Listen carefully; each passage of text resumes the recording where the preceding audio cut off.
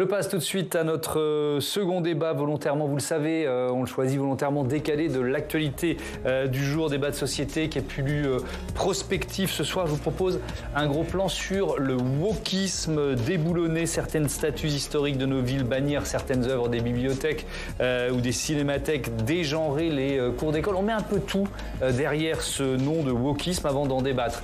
Définition, évolution et début de polémique avec Jérémy Heinzmann.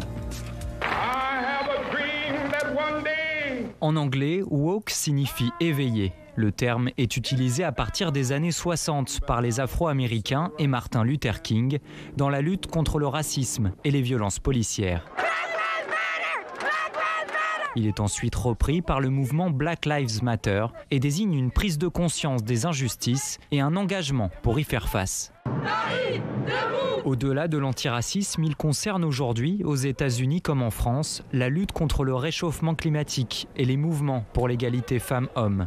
Mais si aucun groupe ne se revendique d'une idéologie woke, son dérivé, le wokisme, est lui devenu l'ennemi désigné d'une partie de la classe politique qui voit dans ses actions une menace pour l'unité républicaine wokisme, lui, est utilisé en fait euh, par les milieux conservateurs ou réactionnaires euh, pour décrire en fait euh, une certaine gauche. Donc on va accuser celles et ceux qui souhaitent faire bouger certaines lignes environnementales, sociales, de, de classe, de genre, de race, etc.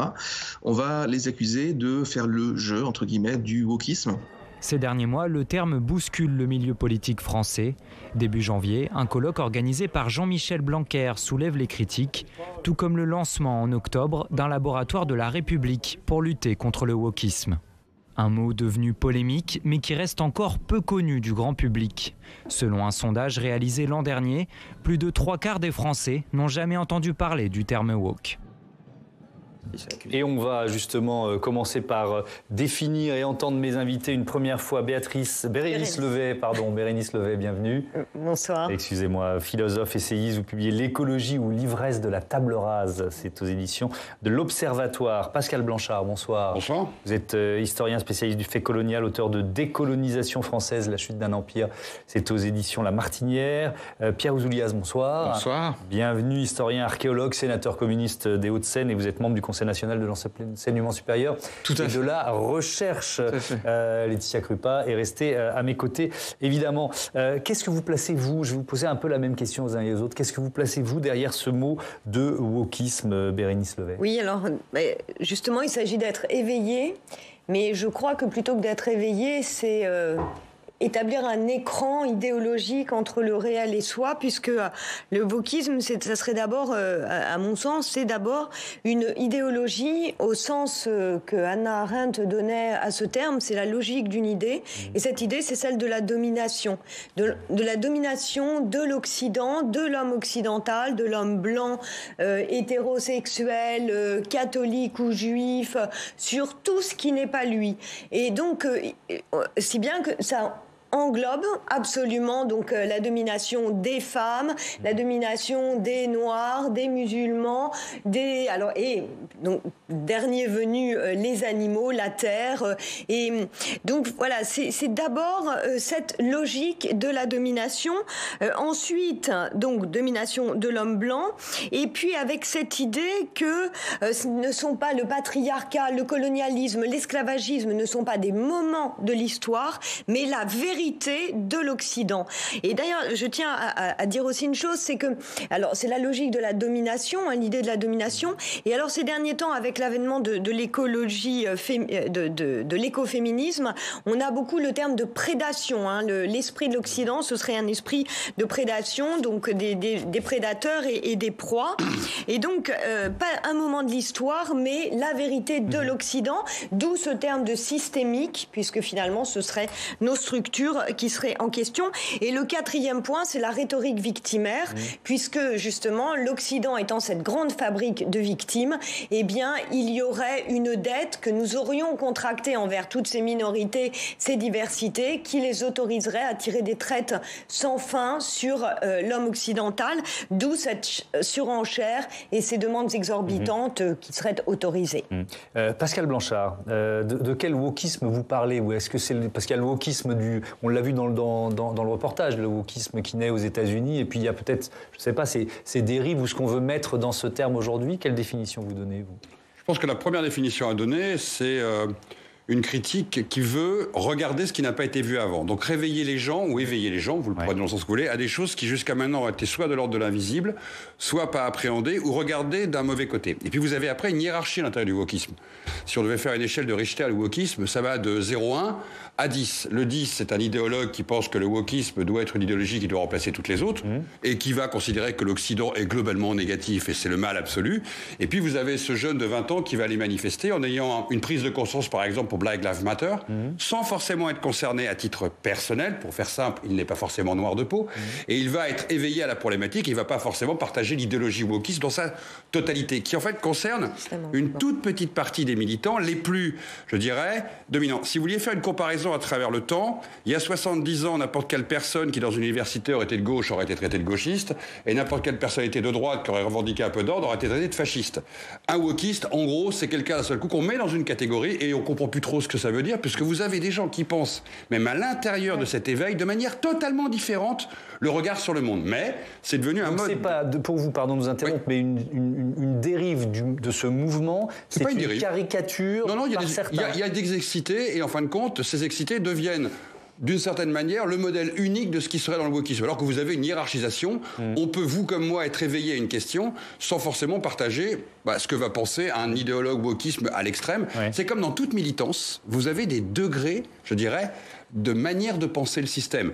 Alors on peut réduire ces gens à un seul monde, c'est le choix de certains, pour désigner une forme d'ennemi commun, ou vous pouvez regarder ça avec plus de nuances. C'est comme considérer que tout homme de droite est un fasciste en sommeil. Pierre Ouzoulias, euh, comment vous euh, définissez votre wokisme entre guillemets Moi, ce que j'ai envie de vous dire, c'est euh, si on fait la campagne là-dessus, on va avoir du mal à intéresser la France rurale quand même. Hein, parce que chez moi, en Haute-Corrèze, le wok, c'est une poêle qui permet de faire de la cuisine asiatique.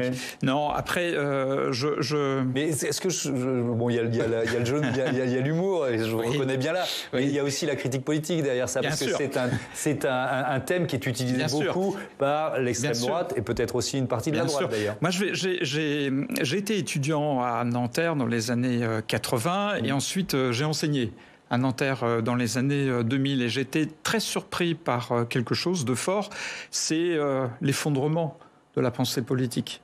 Euh, quand euh, on est à Nanterre dans les années 80, euh, on, a une structuration de la mm. pensée qui est forte qui est marxiste, qui est démocrate chrétienne, etc.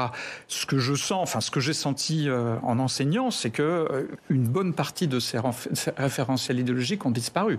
Et, à la place, il s'engouffre là-dedans. À la place, on a une archipélisation de la pensée idéologique il n'y a plus de grande idéologie. Euh, il y a des idées, il y a des cases, tout ça n'est pas très bien défini.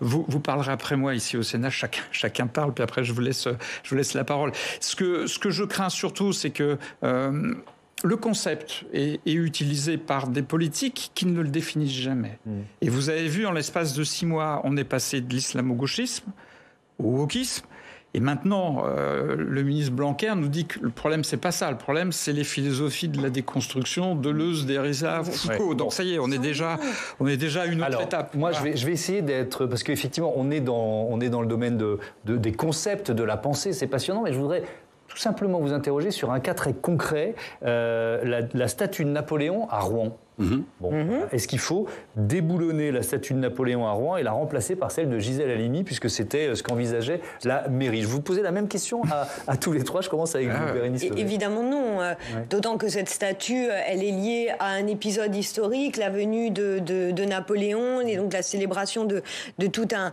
un, moment. Donc en aucune façon, naturellement. Mais si vous voulez, c'est justement là que l'on a sans doute. C'est pour ça que c'est pas aussi archipélisé que vous le dites. La théorie du genre, toute c'est euh, les, les, décoloniaux, etc., il y a, se retrouvent dans ce qu'ils appellent l'intersectionnalité. C'est que cette logique justement d'une domination, elle est bien le point commun. Donc tout ce travail donc, l'histoire, elle est récupérée par ce courant-là, c'est Mais oui, elle est toute. En, fait, c'est une grille de lecture qu'on impose.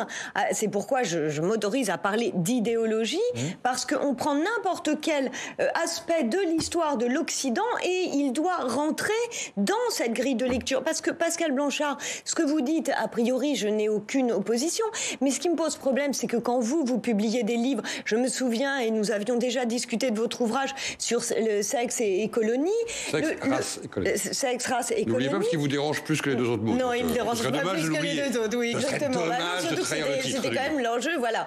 Et le sous-titre était la domination des corps du, du, du 16e au... Presque. Voilà, bon, euh, oui, j'ai tout ça, mais je ne vais pas perdre de temps à rechercher.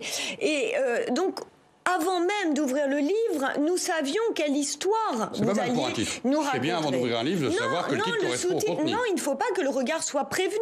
Euh, le, donc justement, ce qui nous intéresse dans la recherche historique ou à l'université, c'est de connaître l'histoire dans ses nuances, sa complexité. Mmh.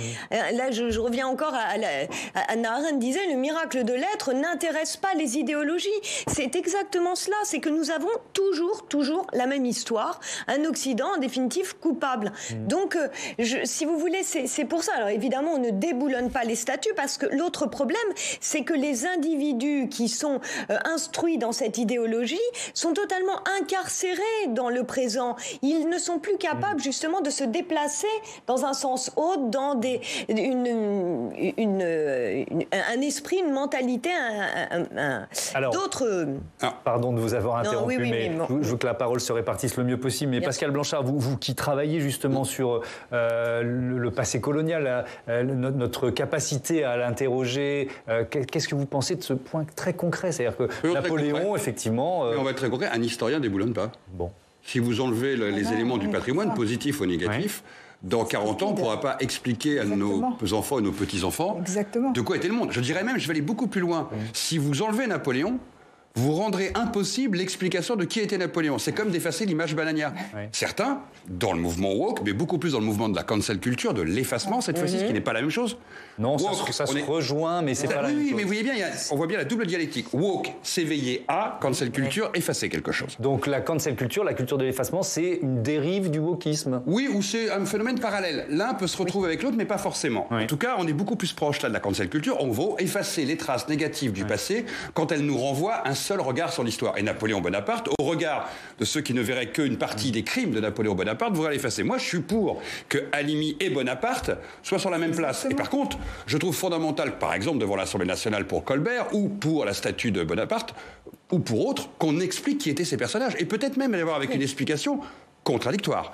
Vous savez, aux États-Unis, il y a un vaste débat sur les statuts de tous ces généraux de la guerre de sécession. Et ce pas des petits euh, symboles, puisque pour la plupart, ils ont été érigés dans les années 30. Pas au moment de la guerre de sécession, ce qu'on sait très peu. Aujourd'hui, ils renvoient une image extrêmement violente dans les pays du Sud, notamment des États-Unis, dans les États du Sud. Et il y a tout un travail qui est fait de savoir ce qu'on en fait. Est-ce qu'on les déplace? Est-ce qu'on les supprime? Est-ce que certains les déboulonnent? Est-ce que d'autres on met des plaques? Est-ce qu'on les explicite? Ce que je veux dire, c'est que le débat n'est pas en, en, soi malsain. Depuis la Révolution française en France, je, je termine juste.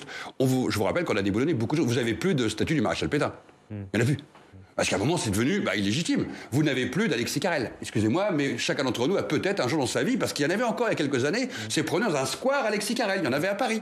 Ce que je veux dire, c'est que déboulonner, effacer, a toujours fait partie du rapport entre histoire, mémoire et commémoration. C'est le principe même des nouvelles générations de réécrire l'histoire. Donc je dis, on garde Napoléon, mais on l'explique, et bien sûr, on érige Alimi. Bérénice Levet, vous vouliez réagir un mot, un mot de réponse et bah, ensuite je vais, voir. Euh, ce que, euh, justement, euh, complexifier le réel, c'est. Alors, si on prend l'exemple de Colbert, est extraordinaire. Évidemment qu'il n'a pas une statue parce que il a éventuellement été. Enfin, ordonné le, le, code noir.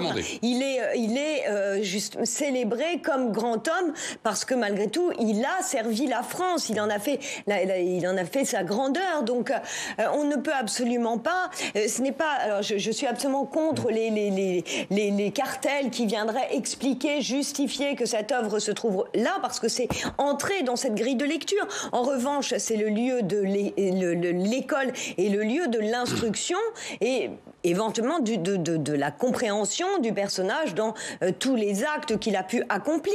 Mais le problème, quand on appelle à l'éveil, c'est en général exclusivement à regarder les pages noires euh, des personnages ou de notre histoire. C'est cela, moi, je, si on prend au mot, et eh bien justement, réapprenons. Pas comme les pages noires. Ce qui est dans la démarche de l'éveil, c'est aussi des pages qui ont été simplement oubliées qui n'ont pas été regardées ou qui ont été regardées avec un angle particulier. On peut être d'accord ou pas. C'est plus complexe que de penser que ce sont que les pages sombres. Il est vrai que ce que le bruit médiatique entend, c'est les pages sombres. Ça paraît assez évident parce que c'est. Alors, tout à l'heure, vous parliez d'émetteurs effectivement caricaturaux de ce de ce mouvement de, du wokisme, mais c'est bien sûr la loupe médiatique qui grossit. Pas seulement la loupe médiatique. qui grossit les plus bruyants, c'est normal. Et quand les politiques prennent des positions tranchées, euh, caricaturales, simplistes, gratuites, évidemment, c'est ce qui euh, ressort du débat public mhm. et ensuite qui crée une polémique, mais stérile, mhm. puisque ce sont des, attaques, on en parlera tout à l'heure, mais simples, trop faciles. Est-ce qu'on est, en train de... Non, non, non, c'est passionnant. Est-ce qu'on est en train de... des Est-ce qu'on est en train d'importer un un débat euh, qui est, d'abord américain et qui n'a pas grand-chose à faire? Non, non, non. Mais sur le, le déboulonnage, moi, ça m'amuse beaucoup. Moi, j'ai vécu dans la banlieue rouge de la région parisienne. Alors, les, les mm. places Léline, les boulevards Torres qui ont disparu, c'est en pagaille. Et ça continue. Hein. Euh, en, revanche, j'habitais Champigny et la Rutière, elle, elle n'a jamais été touchée. Mm. Euh, donc, c'est quelque chose qui est, qui est, très ancien. Et je, suis historien de l'Antiquité. Quand euh, un empereur euh, euh, avait pas plu, il y avait la damnatio memoriae, c'est-à-dire que vous effaciez son nom de tous les monuments, de tout l'Empire. Hein, donc là, c'est la cancel culture, mais à l'échelle de l'Empire romain. Mais donc ça, veut dire ça c'est des choses anciennes. après, moi, je suis archéologue. C'est déjà arrivé, pourquoi pas? Non, moi, je suis archéologue, donc euh, je tiens absolument à ce qu'on laisse aux générations du futur mm. des traces de notre passé, parce que c'est ce qui permet de réfléchir. après, je pense que sur Napoléon il aurait fallu restituer la totalité de la complexité du personnage. il y a un aspect qui a été euh, oublié volontairement, c'est que c'est quelqu'un qui était profondément anti-judaïque et que le, concordat d'Alsace-Moselle, mm. en ce qui concerne les juifs, c'est un acte profondément antisémite. Mm. Et on l'a pas assez dit. Et ça, je pense que euh, plutôt que débouliner, de, de, déboulonner sa statue, mm. on aurait dû rappeler ce passage-là. Mais, comme tout personnage historique, vous avez des, vous avez des multifacettes sur un personnage historique. non, mais enfin, je crois que ce qui est en jeu euh, aujourd'hui, c'est quand même l'enseignement. Quelle histoire est racontée et, euh, dans les écoles primaires et à l'université? On va y venir à l'université. oui, et parce ce qui s'est passé notamment à Grenoble. Je suis d'accord avec vous, peut-être l'écho médiatique, mais ce qui est important, c'est quelle histoire est transmise. Oui, parce que ça, c'est un ce qu'il nous faut cultiver, c'est bien la passion de comprendre mmh. le, réel dans Moi, c'est ça qui, m'inquiète, si vous voulez, dans, l'idéologie Vogue, c'est que c'est une idée très dégradée et dégradante de l'être humain. On a l'impression que justement, on ne veut nourrir que ces passions tristes, le ressentiment, la détestation. Non, mais ça existe. Non, mais, je suis d'accord avec vous. non, mais on ne peut pas faire comme si ça n'existait pas. Mais non, mais d'accord, mais donnons déjà à connaître et à aimer la France avant de la donner à détester. Mais, ah oui, ce travail n'est L'enseignement n'en est plus à ce principe de dire qu'on ah va bah à l'école pour aimer la France. Ah bah c'est dommage. Non, bah oui, mais c'est bien dommage. C'est un petit peu plus compliqué que ça l'éducation nationale. Non, parce que c'est le rôle de l'école. C'est le rôle de l'école. Non, le rôle de l'école, c'est pas d'aimer la France. Si, ah, si, si.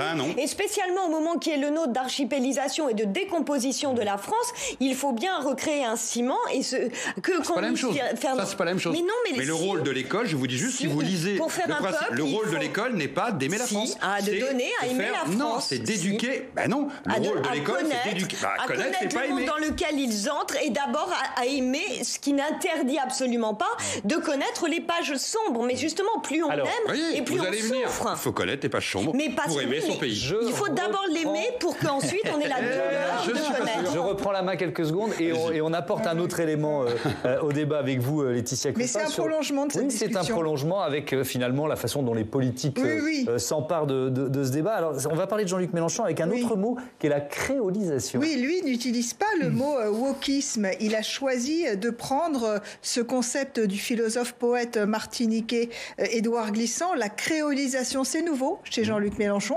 En 2017, dernière campagne présidentielle, il n'avait pas du tout ce concept à la ah, bouche. Je vous propose de lui laisser la définition, hein, la primeur de la définition de sa créolisation. C'était à l'occasion du débat qu'il avait opposé à Éric Zemmour sur BFM en septembre L'assimilation, ça n'existe pas.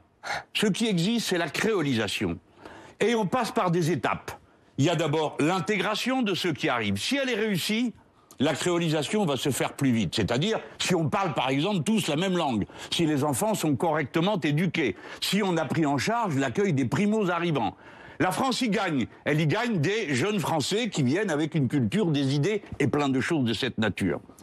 Ça, c'est le premier point. Et puis, comme ça se fait, à la fin, se produit une intégration qui vaut créolisation. L'assimilation signifierait qu'il y a quelque chose à quoi, d'invariable, à quoi on devrait ressembler. Eh bien, ça n'existe pas. C'est intéressant ce débat entre assimilation versus créolisation parce que ce sont deux visions distinctes de la France et cela peut être un débat euh, pour la campagne électorale parce que euh, ça charrie aussi euh, beaucoup de questionnements sur, encore une fois, évidemment qu'il faut toujours penser et comprendre et connaître son passé, mais sur la France d'aujourd'hui et sur l'avenir qu'on veut lui donner. Parce que Jean-Luc Mélenchon dit créolisation, c'est la réponse de la gauche face à finalement cette France, cette dérive identitaire de la droite. Mais toute la gauche n'est pas d'accord avec Jean-Luc Mélenchon. Et Jean-Luc Mélenchon ne répond pas, par exemple, au questionnement des séparatistes, des communautarismes qui ne respecte pas les lois de la République. Mmh. C'est-à-dire que sur ces concepts-là, Jean-Luc Mélenchon entretient un flou, notamment quand il participe en 2019 à cette marche contre l'islamophobie, mmh. où le Parti socialiste, lui, n'a pas voulu se rendre. On voit bien qu'il y a là, dans la gauche, une fracture sur euh, cette question. Mmh. Et alors Jean-Luc Mélenchon, on en parlait tout à l'heure, va carrément dans la caricature. Lui qui est un homme de lettres, intelligent, qui connaît l'histoire, quand il est sur ce plateau de Cyril Hanouna euh, sur C8 la semaine dernière face à un policier de la BAC. Il y va euh, un peu avec le gros rouge qui tâche. Écoutez-le et puis on en discute après. Ceux qui parmi vous se sont couverts d'opprobre et ont ridiculisé la police par des comportements personnels, racistes ou autres, seront expulsés de la police nationale. On réouvrira les postes là où il en faut de police et ça sera la bonne franquette en parlant, pas avec des gens qui circulent dans des bagnoles et tapent avec un matraque sur la porte, pas ceux qui contrôlent 20 fois par jour quelqu'un parce qu'il a la peau noire, à commencer par mon camarade président de la commission des régions au Parlement européen qui chaque fois qu'il arrive à la gare du Nord est contrôlé parce qu'il est noir, tandis que tous ceux qui sont autour de lui et qui sont blancs ne le sont jamais. ça suffit cette colère, elle semble saine, cette colère, elle est répétée depuis deux, trois, quatre ans. Hein. Euh, cet argument, il l'a toujours à la bouche, Jean-Luc Mélenchon. Le problème, quand on fait euh, dans ce simplisme-là de la politique, c'est préjudiciable au débat public parce qu'il caricature et que euh, les objectifs sont clientélistes, c'est-à-dire que LFI, la France insoumise, le parti euh, de Jean-Luc Mélenchon, qu'il appelle aujourd'hui Union populaire, a perdu le vote de la classe ouvrière. Et donc là, il prend ses positions pour parler à un nouvel électorat. Pas sûr que ce soit celui qui vote, mais en tout cas, c'est le pari de Jean-Luc Mélenchon. Je dis juste que quand on instrumentalise euh, ces souffrances exprimées, qui sont réelles, parce qu'à partir du moment où on exprime un traumatisme, une souffrance, il faut les entendre, mais pas les instrumentaliser à des fins électoralistes. Pierre Ouzoulias, euh, comment vous réagissez effectivement à peut-être plus globalement euh, l'attitude d'une partie de, mm. la gauche mm.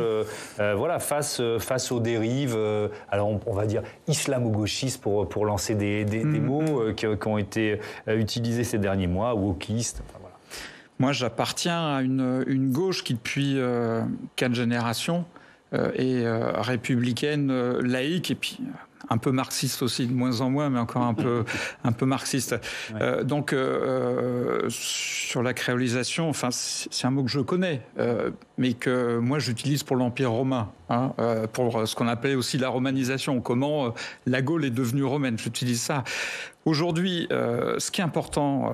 Est-ce qu'il y, a une part de euh, je ne sais, pas, de complaisance de certains élus euh, de gauche euh, avec voilà l'islam politique dans, certaines cités Et est-ce que finalement, votre candidat à la présidentielle, Fabien Roussel, n'est pas l'un des rares qui a un discours très clair là-dessus à gauche? Il y a une perte de repères idéologiques. La République ne connaît que des citoyens. Point. Bien sûr. Quelle que soit leur origine, ne connaît que des citoyens. Et, euh, l'objectif de la République, c'est donner à chacun euh, les moyens de faire son métier de citoyen. Mm. C'est tout. Euh, quelles que soient ses origines. Les mêmes droits. les mêmes droits. Je ne cherche pas à les assimiler, etc. Je cherche à faire qu'ils soient des citoyens au sein de la République avec l'égalité des droits. Et ça, c'est un projet républicain d'envergure pour le XXIe siècle c'est celui du, du, candidat Fabien Roussel mm. que, que je porte. Oui, parce que moi, je, je voudrais dire une chose, parce que j'imagine que voilà, je suis étiquetée de droite et conservatrice, ce qui m'est indifférent. La seule chose, c'est que je viens de la gauche. Et je souffre précisément parce que cette belle idée émancipatrice de l'homme que longtemps a porté la gauche, c'était un véritable pari sur la liberté, sur la liberté du pas de côté par rapport à tout déterminisme. Déterminisme ethnique, social, etc. Et on disait à chacun, qui que vous soyez, d'où que vous veniez, hmm. vous pouvez vous rattacher à une histoire, à une réalité plus vaste que vous. Que vous soyez justement euh, juif, catholique, musulman, tout cela nous est indifférent, mais non pas pour être jeté dans un vide identitaire, parce que ça, justement, la critique a longtemps été faite aux républicains, c'est d'être abstrait, etc. Mais c'est faux. La grande tradition républicaine, elle n'a jamais été abstraite. Hmm. Elle n'a pas juste euh, euh, valorisé, des, enfin, accrédité des valeurs parce qu'elle sait que l'être humain, il a besoin d'histoire, il a besoin de narration, il a besoin d'épopée. Il y avait quelque chose d'éminemment généreux. Il y avait un pari sur ce que René Char appelle l'enclave de la liberté qui est dans chacun de nous. Et moi, justement, ce que je voudrais, c'est voir une gauche. Et il est vrai que les dernières déclarations de Fabien Roussel euh, m'a plutôt euh, m'ont plutôt réconforté. C'est que voilà, je, me demande exactement. je me dis que ce pari et, cette véritable émancipation, elle peut encore être portée plutôt, si vous voulez, ce, que, ce qui me fait souffrir, c'est que on rétrécit les individus, on les rabougrit sur leur petit moi. En fait, ce que vous nous dites, c'est que euh, cette idéologie, je reprends vos termes, hein, mais elle, nous enferme dans une case identitaire. C'est un vrai risque, ça. Vous êtes d'accord avec cette Oui, mais alors ça veut dire que vous regardez la partie vide de la bouteille. Parce que jusqu'alors, tout ce discours idéal et parfait, qui sur le papier est idéal et parfait, le principe universaliste, la manière de dire que tout citoyen est égal devant et sont égaux devant la République, et que justement c'est le principe ultime même de ne pas voir la différence, de ne pas voir la religion, de ne pas voir la religion. Le problème, c'est que ça ne marchait pas comme ça. C'est pour ça qu'aujourd'hui on a un problème. Non mais vous avez le droit de le croire. Ça ne marchait pas comme ça. C'est-à-dire que vous avez beaucoup de gens qui disent OK, votre modèle n'a marché que pour un type de population. Pour ceux qui sont descendants de telle ou telle migration, de ceux qui sont descendants de l'ex-empire colonial, de ceux qui vivent dans les quartiers populaires, de ceux qui vivent dans les outre-mer, ils vous disent attention, le récit idéal n'a jamais été le nôtre. Vous avez nous sommes sur le bord de cette route. Ça ne veut pas dire que nous ne trouverons pas une solution pour y parvenir. Ça veut dire qu'aujourd'hui, qu'est-ce qui se passe? Ceux qui ont senti, ceux qui ont le ressenti, à tort ou à raison. On peut bien l'entendre. Mais ceux qui perçoivent dans leur identité qu'ils sont à la marge de ce grand récit idéal, ben aujourd'hui ils disent on va décentrer le regard pour nous regarder nous. Je l'ai fait là actuellement. Oui, oui, mais alors parfois, ça va, pardon nous interrompre, ça va jusqu'à euh, ah bah, dire euh, bah, je, vais, je, vais, je, vais, prendre avec moi mais je suis blanc, donc je suis raciste, donc j'ai pas le droit de m'exprimer sur Alors je vais vous le dire à l'inverse, je suis noir, donc je suis arrêté par la police et donc je ne serai jamais français. D'accord. Pourquoi Parce que vous avez des modèles reproductifs parce mais non, mais j'entends ce que vous dites, et c'est une réalité évidemment pour des générations depuis longtemps. Mais est-ce que pour autant ça, ça les autorise à, interdire aux blancs de, de, s'exprimer euh, sur le Je vais vous donner un exemple. Ou d'exprimer une pensée qui n'est pas raciste. parce que c'est un peu. Vous avez ça la dérive. Je vais vous donner un exemple. Moi, je suis un chercheur blanc, vous l'avez remarqué, qui travaille sur l'histoire de l'Afrique, ou qui a fait un livre, par exemple, sur sexe, race et colonie. Et beaucoup de chercheuses noires, françaises et américaines, en femmes, ont considéré qu'un homme blanc ne pouvait pas travailler là-dessus. C'est une vraie problématique. Mais c'est une vraie problématique parce que l'époque que l'on vit aujourd'hui, vous l'avez très bien dit tout à l'heure, on a éclaté tous les, repères. Pourquoi? Parce que ceux qui n'étaient pas dans la bouteille, de la partie pleine de la bouteille, ont dit on veut rentrer dans la bouteille. Et c'est très compliqué parce que d'un seul coup on dit mais de quoi, de quoi il nous parle? Bah oui, on n'a jamais écouté. Donc d'un seul coup ils rentrent par définition de manière violente dans cette bouteille. Et on se dit, ils font du bruit. Bah oui, parce que maintenant ils étaient silencieux. Et donc ça perturbe tous les modèles, parce que le modèle idéal, c'est de dire, bah, ils vont rentrer un jour dans notre modèle républicain tel que nous l'avons pensé. Sauf que dans le réel. Eh ben, ils en ont marre d'être sur le bord de la route. Bien entendu. Bon, on a entendu vos arguments les autres. Je vais, reprendre la main. Je vais reprendre la main. Il y a encore beaucoup de choses à, évoquer. Mais justement, sur les femmes, on a pris des lois. Ben, on va en parler. des femmes. Les lois, bah, je, vais essayer de faire mon boulot de, de, de présentateur d'émission. Marion, merci de, nous rejoindre. Mais on savait que ce débat serait passionné et c'est très bien. Euh, parce qu'aujourd'hui était organisé, euh, euh, à la demande du groupe républicain, c'est important de le, signaler, un débat dans l'hémicycle sur le wokisme. Et vous l'avez suivi pour nous Oui, puisque la majorité sénatoriale sénatoriale au Sénat souhaitait interpeller le gouvernement sur les menaces que les théories du wokisme font peser sur l'université, l'enseignement supérieur et les libertés académiques. Pourquoi le développement de cette idéologie inquiète les sénateurs de droite? Eh bien parce que c'est à l'université que se forme l'esprit critique des jeunes Français et ils ne veulent pas que cet esprit soit parasité par, je cite, une vision manichéenne de la réalité qui oppose dominé et dominant. Ils ne veulent pas que les salles de cours se transforment en lieu d'endoctrinement. Écoutez ce qu'on disait en ouverture de séance Max Brisson, orateur du groupe Les Républicains. Oui, je suis convaincu que laisser cette idéologie nauséabonde, prenant la dissolution de toute norme, se diffuser, c'est porter atteinte à l'essence même de notre démocratie qui vit par le débat et la confrontation d'idées et non par la censure et le relativisme. Et que l'université par excellence le lieu où il faut protéger le débat, la confrontation pacifique et régulée des idées afin que progresse la connaissance et que s'établisse la vérité scientifique. Alors ce débat a été l'occasion pour le gouvernement de rappeler sa position. C'est Sarah El Haïry, la secrétaire d'État auprès du ministre de l'Éducation nationale qui a répondu aux sénateurs. Nous l'avons rencontré avant la séance, écoutez sa position. Nous, notre manière de lutter contre ces discriminations, ces inégalités, c'est avec une réponse universaliste. C'est-à-dire que tout le monde doit se lever quand il y a des actes de racisme, quand il y a des actes sexistes, homophobes, transophobes et pas uniquement réservé en réalité ce combat-là, c'est-à-dire le combat antiraciste, à une minorité. Moi, je crois qu'au contraire, la grandeur de la France, c'est quand elle se lève pour lutter contre toutes ces inégalités. D'ailleurs, c'est ce que nous faisons avec, euh, parce que c'est la volonté du président de la République, Emmanuel Macron, qui pose par exemple la plateforme qui permet euh, d'annoncer, d'alerter quand il y a euh, des discriminations qui sont faites. C'est aussi la formation de nos enseignants. Mais lors de ce débat, l'inaction du gouvernement a été pointée du doigt, notamment de la part du sénateur Max Brisson, qui accuse le chef de l'État de faire lui-même le jeu du wokisme dans sa pratique du en même temps. Pour combattre le wokisme, il faut regarder notre passé, certes avec clairvoyance, mais certainement pas avec suspicion et esprit de repentance. Or, c'est sur cette voie que, hélas, plusieurs fois, le président Macron a voulu nous entraîner.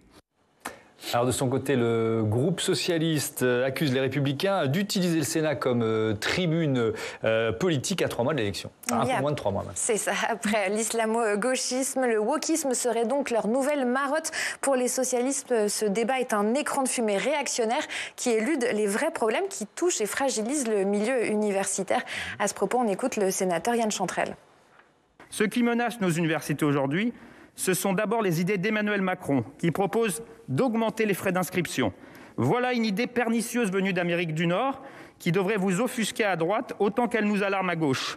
Ce serait l'assurance de voir l'enseignement supérieur de moins en moins accessible aux classes populaires et surtout de condamner la jeunesse à devoir payer toute sa vie une dette accablante, comme c'est le cas aux États-Unis ou au Royaume-Uni le sénateur Hervé Gatolin a quant à lui demandé à ce que ce soit examiné l'influence et la place réelle du wokisme à l'université, pas seulement dans les débats, mais aussi dans les travaux universitaires, les doctorats, les thèses, euh, ajoutant, je cite, que les phénomènes de mode existent aussi dans le monde universitaire. Merci Marion pour euh, euh, toutes ces explications. Pierre Ouzoulias, vous en pensez quoi de ce débat aujourd'hui au, Sénat?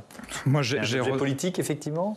Oui, oui, moi, je, ce que j'ai mis en, évidence, c'est une forme de contradiction, mmh. euh, parce que c'était euh, un débat sur euh, la liberté académique, mais lors de la loi de programmation de la recherche, mon groupe avait défendu plusieurs amendements pour renforcer la liberté académique. Je ne vais pas les passer ici en détail. le gouvernement et la majorité sénatoriale avaient voté contre. Mmh. Ils refusaient.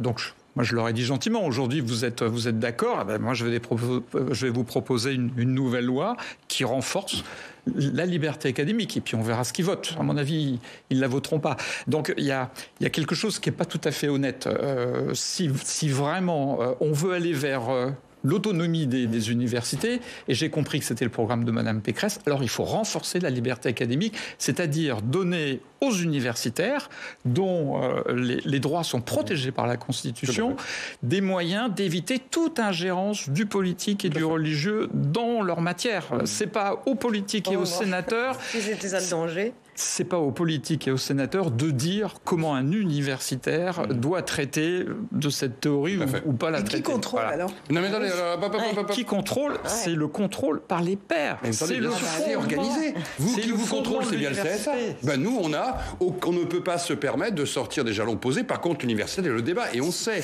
sur nos questions, quand les politiques s'en occupent, ça se termine toujours mal. Vous voulez qu'on se rappelle 2005 Quand les sénateurs et les députés ont voté cette loi qui devait nous demander à nous, les historiens, qui enseignons notamment l'histoire coloniale, de l'enseigner positivement, c'est toujours une catastrophe quand les politiques s'occupent de l'enseignement et de l'histoire. Faire... Non, non, non, non, dans les deux sens. Dans les deux sens. Ah Ce n'est pas aux politiques de faire la manière dont le débat... On est assez grand pour faire que quand on a des extrêmes dans nos universités, dans nos laboratoires de recherche, ça s'appelle un débat, on s'en occupe. Comme vous, entre journalistes, vous savez très bien que vous avez quelque part des mécanismes à l'intérieur, vous avez un CSA, vous avez mm. une capacité à devoir rester dans une forme de neutralité. Et heureusement. Est-ce qu'elle existe cette neutralité je, vais, rappeler ce qui se passe à, Sciences Po Grenoble. Il y a un enseignant qui, euh, alors euh, il, y a, vraiment deux, versions qui s'opposent. Vous arrivez à le résumer, vous êtes bon. Hein. Un enseignant qui décrit l'établissement de Sciences Po Grenoble comme un, un institut de rééducation politique. Il accuse certains de ses collègues euh, adeptes des théories woke d'endoctriner ses étudiants. Voilà. Il est lui-même accusé, cet enseignant, d'islamophobie par des groupes d'étudiants. Et ce prof, il a été suspendu de ses fonctions pour 4 mois. En réaction, Laurent Wauquiez, qui est président LR de la région, a décidé de suspendre ses financements à l'IEP. Pas Résumé très rapide.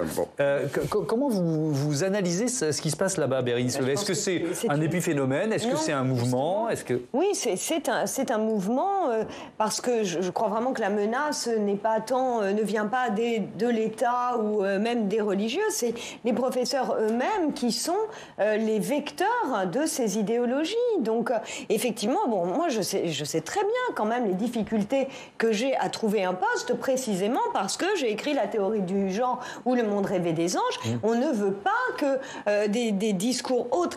parce que quoi, il y, a des associations qui vont, qui vont euh, faire pression pour que vous n'ayez pas de poste et, des, collègues qui mmh. ne souhaitent absolument pas que euh, je fasse partie des équipes universitaires.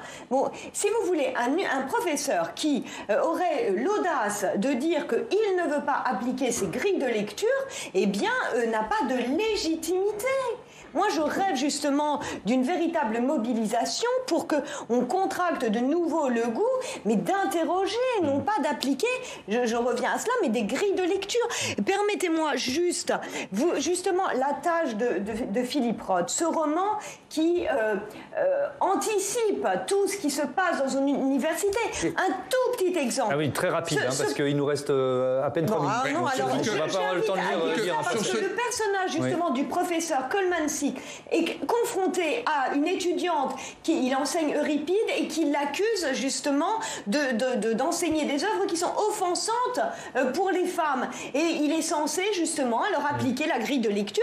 Et il faut lire absolument la réponse qui est la sienne parce que je voudrais que nous tous, universitaires, nous ayons cette réponse et que l'on dise nous n'appliquerons aucune grille de lecture soyons très honnêtes. En France, aujourd'hui, il y a une véritable difficulté sur ces questions. Vous avez posé tout à l'heure la question, mmh. euh, ce que représentent ces recherches, et le Sénat aujourd'hui, c'est un des débats. Mmh. On sait aujourd'hui qu'il y a moins de 1% des thèses, ce qu'a reconnu plusieurs articles scientifiques. Il y a à peu près moins de 1% des thèses françaises en sciences humaines mmh. qui traitent de ces questions. Sur le recrutement, en France, on a une réalité, c'est que sur les questions qui fait peur à tout le monde, du décolonial, du wokisme, du postcolonialisme, les chercheurs en France ne sont pas recrutés. Alors là, pour la plupart, 95%. Quel que, soit leur. Euh, non, mais il n'y en a pas. Quelle que soit leur Suisse. Non, mais attendez, c'est très simple. Ils vont en Suisse, ils vont en Belgique, ils vont aux États-Unis, ils vont au Canada d'abord parce que les postes sont mieux payés. Parce que là-bas, il y a des chaires qui sont ouvertes sur les questions. Mm. Le CNRS n'a jamais recruté sur ces questions. Non, mais il n'y en a pas. Il n'y en a pas aux chercheurs. Aucun chercheur au CNRS n'a été recruté sur les postes coloniales depuis 22 ans. C'est simple, il y en a zéro. Et, ils sont tous à l'étranger. Donc vous dites que vous êtes aussi ostratisé. Non, non, non, Vous avez remarqué, je n'ai pas pris le même mécanisme. Je dis ah que bah ces questions sont intimement minoritaires parce qu'elles n'existent même pas dans la sphère scientifique. Vous pouvez trouver des chercheurs qui arrivent sur d'autres postulats qui vont aller puiser dans ces recherches. La plupart des francophones sur la question travaillent pour France. C'est simple. Ils sont aux États-Unis, ils sont ailleurs. Où là, il y a un recrutement qui est très présent, c'est très vrai, sur ces questions.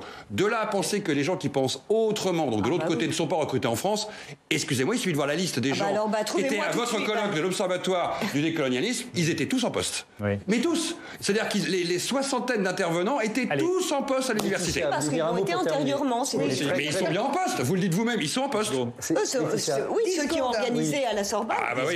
Eh bah oui. Je vais une petite lecture pour pour tout le monde. Allez. C'est Le Voyant des Tempes. C'est le prix de Flore 2021 d'Abel Quentin. Mmh. Euh, génial roman, justement, entre un homme de, blanc de 65 ans, prof à l'université, qui est percuté par le wokisme mmh. et qui pourtant a milité à SOS Racisme dans sa jeunesse aux côtés d'Arlène Désir et de Julien Drey. Et, qui, se, retrouve accusé de, avec racisme. la petite amie de sa fille. on n'a pas le temps de tout raconter. Pierre très... oui, oui, mais c'est presque une boutade. Euh, moi, j'ai cru comprendre que les idées de Gramsci aujourd'hui aient triomphé et que ce qui était important, c'était euh, la bataille idéologique. Alors, je vous demande pourquoi vous avez perdu la bataille idéologique si vous considérez que c'est le camp du wokisme qui a gagné. On termine là-dessus. Vous n'aurez pas le temps de répondre. Désolé. je rappelle vos, vos livres, Bérénice Levet, euh, L'écologie ou l'ivresse de la table rase. c'est aux éditions de l'Observatoire. À vouloir aller vite, je dis n'importe quoi. Décolonisation française, la chute d'un empire, c'est aux éditions La Martinière. Pascal Blanchard, merci à tous. Demain